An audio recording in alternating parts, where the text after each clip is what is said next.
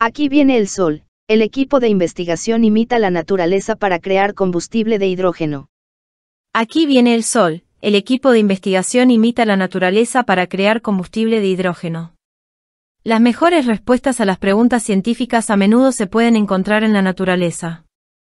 Un equipo de científicos de la Universidad Estatal de Florida y la Universidad de Carolina del Sur ha encontrado una manera de imitar la fotosíntesis, convirtiendo la energía de la luz en combustible químico en el laboratorio. Su estudio se publica en el Journal of the American Chemical Society. Uno de los santos griales de la investigación de energías alternativas es usar la luz solar para formar enlaces químicos que luego se pueden usar como combustible, dijo el profesor asociado de química de la FSU, Kenanson pero hacer enlaces de alta energía es un trabajo duro y difícil de hacer con un paquete de energía luminosa o un fotón.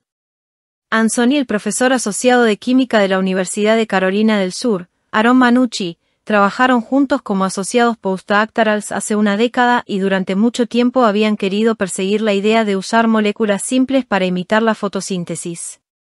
Para este estudio, los investigadores combinaron dos moléculas, un catalizador fotorredox, es decir, un catalizador que mueve electrones con la luz, y naftol, un compuesto orgánico fluorescente. Luego expusieron las moléculas a la luz. Cada molécula absorbió un fotón y luego trabajó en conjunto para generar combustible de hidrógeno, imitando un proceso denominado Z-Schem en la fotosíntesis natural.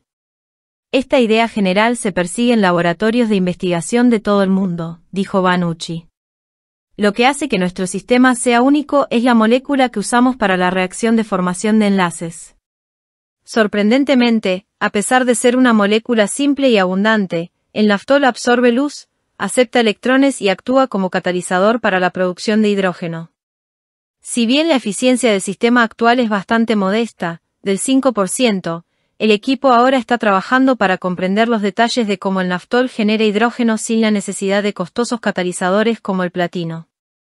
Usarán esos conocimientos para mejorar la eficiencia de conversión de energía y expandir su utilidad a otras reacciones. Además de Anson Banucci, estudiantes de pregrado y posgrado de ambas universidades contribuyeron a esta investigación.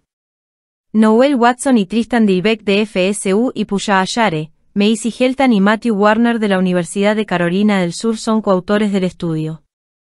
Esta investigación es apoyada por la Fundación Nacional de Ciencias. Te invito a que sea parte de mi canal para informarte de noticias de último momento de ciencia y tecnología y activa la campanita para que mis vídeos te lleguen de inmediato y no te olvides de darme un like.